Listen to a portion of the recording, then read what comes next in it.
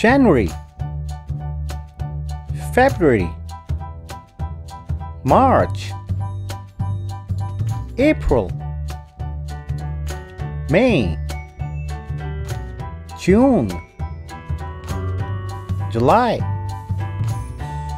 August September October November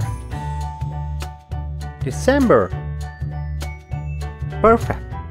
Alright toddlers, let's learn how many seasons do we got.